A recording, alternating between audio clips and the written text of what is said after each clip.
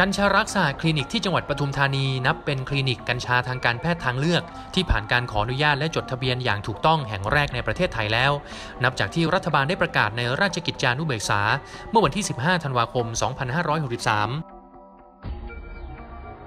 ให้ทุกส่วนของกัญชาและกัญชง ยกเว้น ช่อดอกและเมล็ดกัญชา พ้นจากสถานการณ์การเป็นยาเสพติดให้โทษประเภทที่ 5 ทิติรัตน์เจริญอาจผู้จัดการของกัญชารักษาคลินิกระบุว่า คนไทยส่วนใหญ่อาจจะยังติดกับภาพลักษณ์ของกัญชา ซึ่งเคยเป็นยาเสพติดมาก่อน และส่วนใหญ่ก็ยังไม่เข้าใจเกี่ยวกับคุณและโทษของพืชทั้งสองชนิดแม้ว่าสรรพคุณของกัญชาและกัญชงจะทำให้ สามารถรักษาโรคได้ครอบคลุมมากขึ้นก็ตาม ยังไม่ได้รู้จักจริง ๆ ว่าแท้จริงแล้วอะกัญชา มันคืออะไรสารอะไรบ้างอย่างเงี้ยค่ะที่มันนำมาเป็นยาได้นำมาเป็นประโยชน์ได้ หรือว่าตรงไหนที่มันเป็นสารเสพติดคนยังรู้ไม่มากพอ แต่ว่าจริง ๆ แล้วอะค่ะ ถ้านำเขาเนี่ยมาใช้เป็นยาค่ะเขาสามารถรักษาได้หลายโรคซึ่งเนี้ยต่างประเทศเนี้ยเขาทำงานวิจัยมานานแล้วในช่วงที่กัญชาของเราถูกดองอยู่ ซึ่งกัญชาเนี่ยรักษาได้หลายโรคมากอ่า cover เยอะกว่าสมุนไพรชนิดอื่นโดยเฉพาะกลุ่มโรคเรื้อรังโรคที่รักษาไม่หาย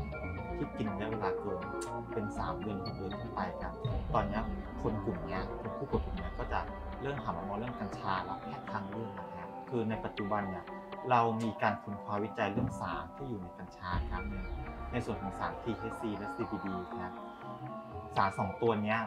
มันจะมีฤทธิ์ในการกระตุ้นระบบประสาทครับ ครับ และแต่อีกในมุมหนึ่งก็มีฤทธิ์ทางยาเช่นเดียวกันด้วยครับ ผู้ป่วยกลุ่มนี้จะสามารถ ใช้กัญชาในการส่งเสริมในการรักษาโรคขณะที่เภสัชกรประกอบเจียนมาเริง หัวหน้ากลุ่มงานการแพทย์แผนไทยและการแพทย์ทางเลือก สำนักงานสาธารณสุขจังหวัดนครราชสีมาเปิดเผยว่า นอกจากสถานการณ์ที่มีการแพร่ระบาดของโรคในปัจจุบันแล้ว ก็ทำให้คนหันมาใช้การแพทย์ทางเลือกและสมุนไพรมากขึ้น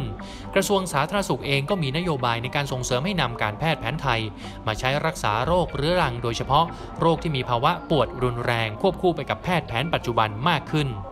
ก็กำหนดเป็นตัวชี้วัดไปทั่วประเทศว่า ควรจะมีการจัดตั้งคลินิกกัญชาทางการแพทย์แบบบูรณาการ ซึ่งเป็นการผสมผสานระหว่างคลินิกกัญชาทางการแพทย์แผนไทย ซึ่งแพทย์แผนไทยเป็นผู้สั่งจ่ายร่วมกับแพทย์แผนปัจจุบัน คือคลินิกกัญชาทางการแพทย์แผนปัจจุบันก็คือแพทย์กัญชา แพทย์แผนปัจจุบัน ซึ่งไปอบรมหลักสูตรคลินิกกัญชาทางการแพทย์ของกรมการแพทย์มาช่วยในการดูแลคนไข้มากขึ้นในบางกลุ่มโรคมีส่วนเลยครับเพราะว่าบางคนน่ะ ด้วยความที่ว่าใจอยากจะหาย แล้วพอรักษาแล้วไม่ดีขึ้น แต่ถ้าตัวผมมองนะ ผมจะไม่มองคนไหนว่าแพทย์คนไหนหรือคลินิกไหนดีไม่ดี แต่ผมมองว่าตัวผู้ป่วยเองต้องให้โอกาสหมอเช่นเดียวกัน ก็คือให้ระยะเวลาอย่างผมจะบอกเลยว่า ถ้ารักรักษากับผมนะภายใน 3 เดือนไม่ดีขึ้นให้เปลี่ยนหมอครับเพราะว่าถ้ามันจะดีขึ้นโดยหลักแล้วมันจะหายมันก็จะดีขึ้นภายใน 3 เดือนครับอย่างน้อย มันต้องดีขึ้นบ้าง 20-30%ครับหลายสถานการณ์โดยเฉพาะสถานการณ์โรคระบาดนะครับ ซึ่ง การใช้ยาแผนปัจจุบัน ก็มันอาจจะยังไม่เพียงพอ หรือวัคซีนก็ยังไม่เพียงพอดังนั้นคนก็จะหันมาพึ่งในเรื่องของ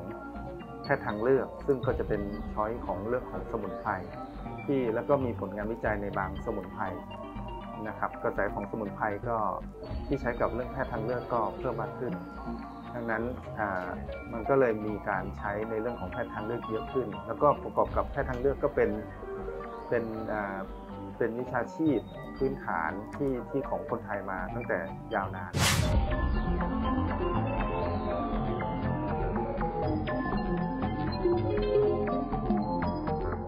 สนับสนุนโดยปุ๋ยเคมีตราราชสีมงกุฎปุ๋ยคุณภาพดี คู่เกษตรกรไทย ผลิตโดยเกรียงไกลเคมีคอน สนใจติดต่อคุณเกรียงไกล 095 460 5580